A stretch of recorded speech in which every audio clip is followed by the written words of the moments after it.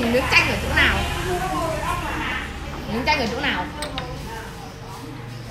Sai rồi miếng chanh ở hai bên đây nè. Đó. Đây cũng có nhưng mà à, hai phải à, chọn ba cái bây giờ đủ rồi quá miếng chanh ở chỗ nào? Miếng chanh ở chỗ nào?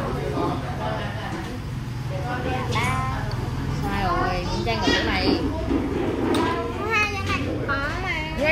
Là cái nào nó phải là cái đấy. Lừa em. Anh thì lừa em. Giờ đây minh bao nhiêu cân? Hơi bị ờ, đẹp trai đấy tại vì ừ, đã biết giảm cân. Còn em vừng em vừng vẫn tham ăn như cũ mà nó bát mà